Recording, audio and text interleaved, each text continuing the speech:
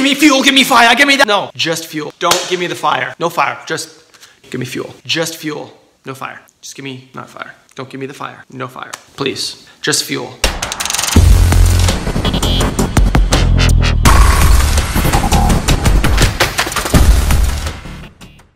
We are doing fuel today, guys. Today, I'm a little scratchy. I'm coming back from a sickness, so that's why I've been out the last few days. I haven't done much um, on any of my uh, social media uh, regarding this swap, and that's because I have been out sick.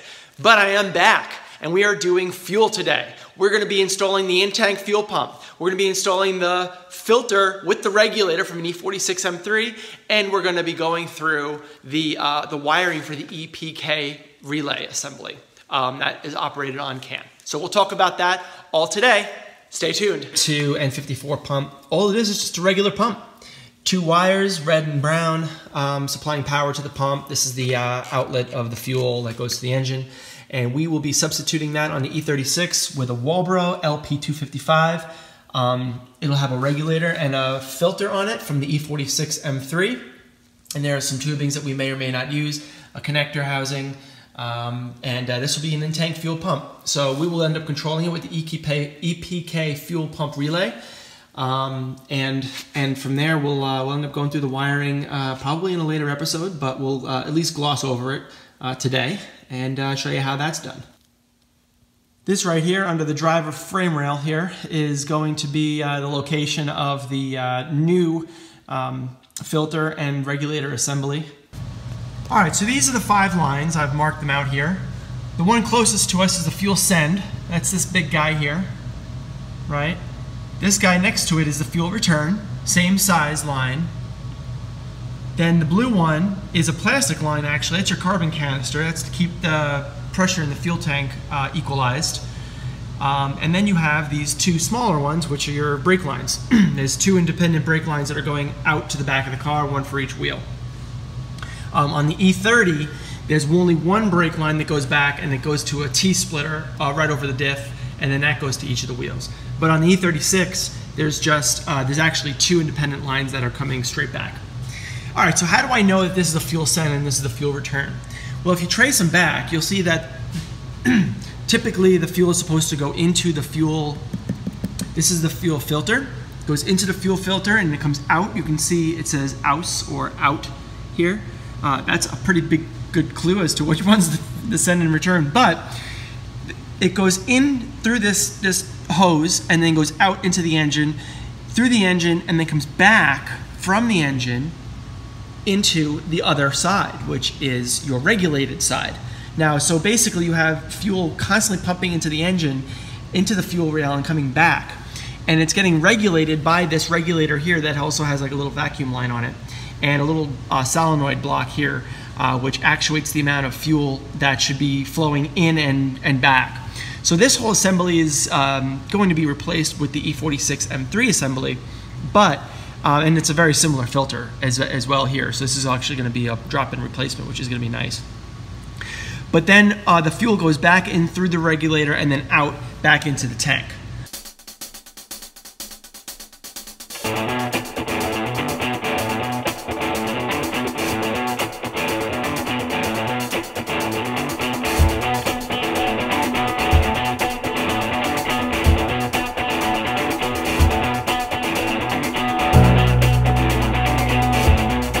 All right, so we have our filter and we have our regulator. This is from an E46 M3.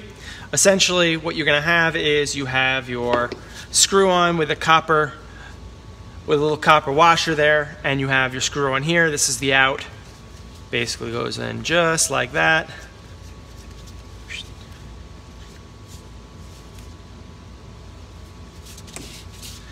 Screws on.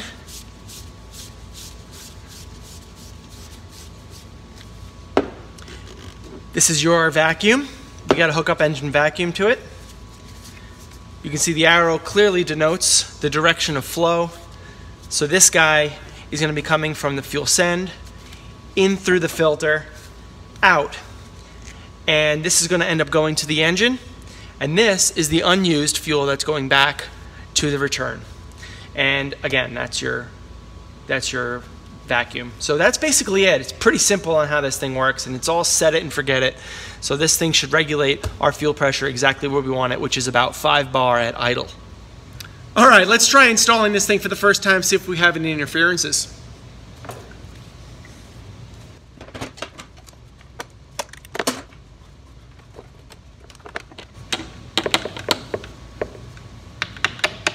Yeah, it looks like we got a problem right up in here. This bracket that was once holding the old regulator is now getting in the way of the new regulator. We have to cut this guy out. But you can see that the, uh, the return line is going to look like it lines up pretty well. The supply line is going to slip right in. So this might actually be a pretty easy install. Let's cut that bracket off.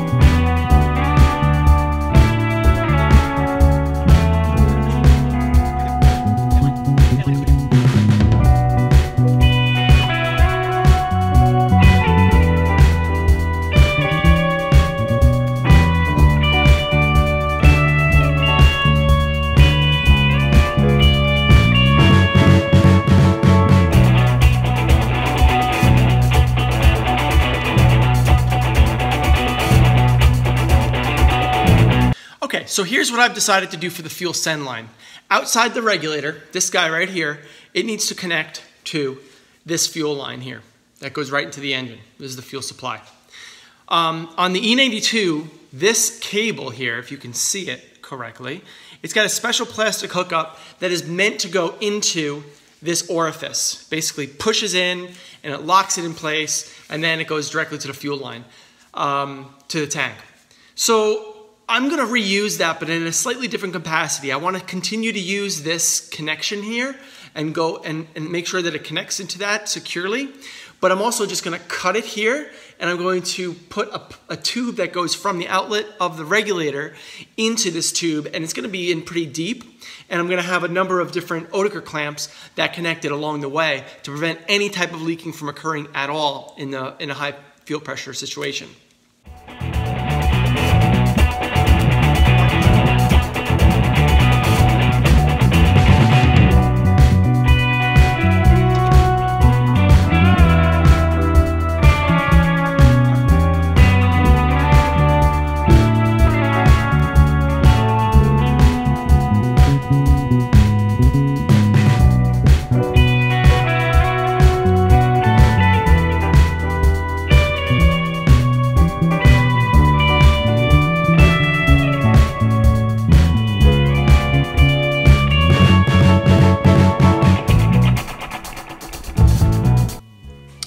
So that just about does it for the fuel pump. Uh, you can see everything is hooked up. Okay. Got to run a vacuum line to the regulator. Right there. But this guy is hooked up to the fuel line. And when I take the engine out, I'll have to uh, probably use, use maybe this guy in order to secure this line down to the, to the sidewall. Um, and then the only other one that I haven't done yet is a carbon canister line. Now that's this blue line here. Um, and that goes to this big wider black one, which I think I'm just gonna end up using a different line on the engine side to hook up to this guy because it's just not gonna, this, two different diameters, it's just not gonna work very well. Um, so I'm gonna end up figuring something out while the engine is out. Uh, so that's gonna be uh, that. But other than that, I'm gonna put this cover back on just like this. All right, and, uh, and then the fuel supply should be pretty much taken care of, and then we can do the in-tank fuel pump.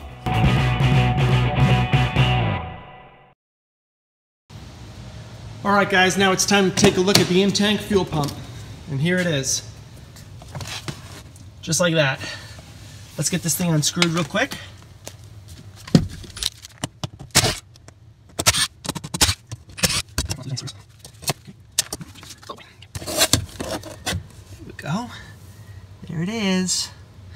Take that thing out of there and we got to replace it. Okay, so what I've identified is that this guy is a fuel tank um, level sensor. This is the pump here. The pump is usually, typically, um, with a green and violet stripe and then a brown stripe.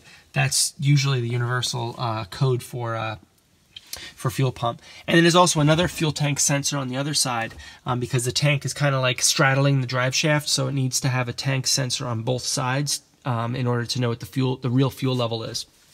So basically, it's pretty simple here.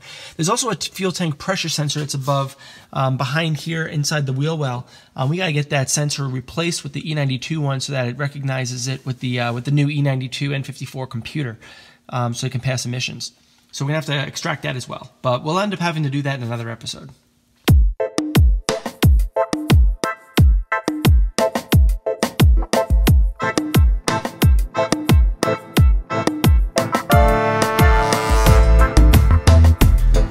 So taking a minute to learn about how this fuel in-tank fuel pump assembly works. This got an integrated fuel level sensor.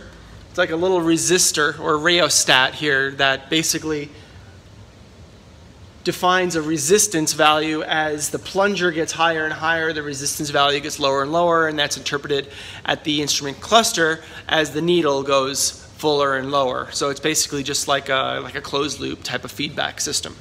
Um, and there's two wires. There's a black one and, the, and there's a, an R, a black one and a brown one rather. And that goes into these two um, clips right here. The other two is for the pump. Uh, and that is a red and a brown uh, on the pump itself. These are actually quite thin wires. Um, the new pump, which is uh, actually the exact same size as the existing pump, it's just going to have much better flow output. And that's exactly what we want. We want really good flow output. We don't want any type of restricted fuel flow. Um, this is actually going to be more or less a direct hookup. We might end up having to do some soldering for the wiring, but other than that, this should be pretty easy. You can see how this thing is kind of suspended in all these different axes here, so it kind of moves pretty freely on these little rubber isolators here. Um, and that was definitely meant for a technique uh, on purpose. So. Um, and then this, this is a flexible hose that doesn't appear to have broken at all, so we'll end up continuing to use that. Uh, and that'll be it. So let's take a look and try to disassemble this and uh, replace it with the new pump.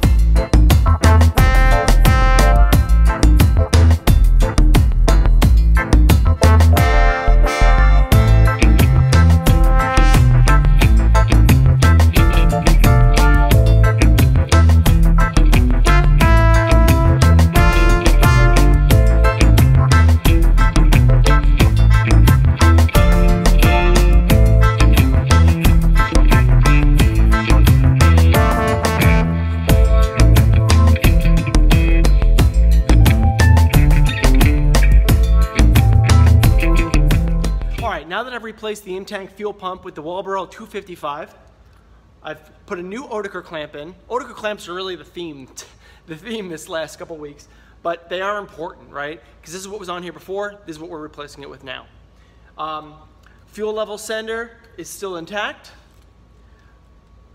Our little uh, absorbers are good.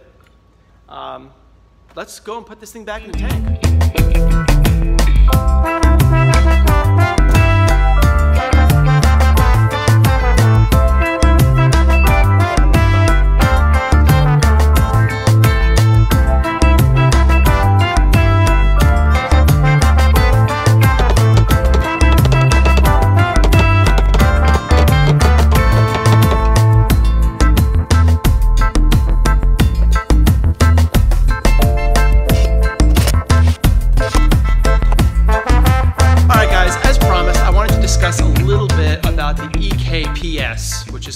Fuel pump relay um, system that came off of the E92. Um, there's a lot of wires that are hooking up to this, and for good reason because what it does is it actually uh, communicates on the CAN bus through the engine. The DME tells the fuel pump what speed the fuel pump itself should be running at for optimal, most fuel efficient operation. So it communicates that through CAN, and this CAN wiring that connects to this, that connects to the DME, and it tells through CAN messages how fast to pump the pump. And that then speeds up the pump or slows it down as needed. So that's really what this is uh, supposed to do. And if it doesn't get that communication back, it will have, have faults, and we really can't have any faults. So, therefore, we need to hook this up. Now, this is a pretty simple situation here. We have this guy, this long one here, is going to the fuel pump itself, just two big, thick uh, wires that goes directly to the fuel pump. Now, on this other connector, this little white connector here, we have this red and blue wire uh, wire wound. This is, these are your CAN wires, your PT CAN and high and low uh, wiring. So that needs to be hooked up to the DME. This is just a loop, so that one stays as is. Um, this green here, this one, this green one with the red stripe, this one here is uh, your, your 12 volt wake up. So it's like your ACC, uh, 12 volt. And then these two are just power and ground. So this has to hook up to your power and your ground. Um, your fuse uh, needs to be fused power and ground. All right, so that's basically how this thing works. Um, I don't know what the CAN messages are, how they work. Um, I probably could sniff them out through the CAN bus sniffer um, if I really wanted to. In fact, I might need to do that if things aren't working exactly how I would expect them to. Um, but that's really how this EKPS system works. Um, and we're going to end up hooking it up probably underneath the dashboard somewhere, part of the engine wiring. Um, it's going to end up working seamlessly with the DME um, at close proximity. And then this will just end up um, for the fuel pump wiring, we'll just end up sneaking right back into the fuel pump wiring in the car. That's all. All right, so that's just about it, guys. So, hey, that just about does it for today. Um, we talked about the fuel pump installation, the fuel filter, and the regulator installation. Um, we installed the fuel, the in-tank fuel pump. Uh, we talked about the EKPW, EP, EP, EKPS. We talked about the EKPS, and um, and we will be doing AC lines next, getting that out of the way.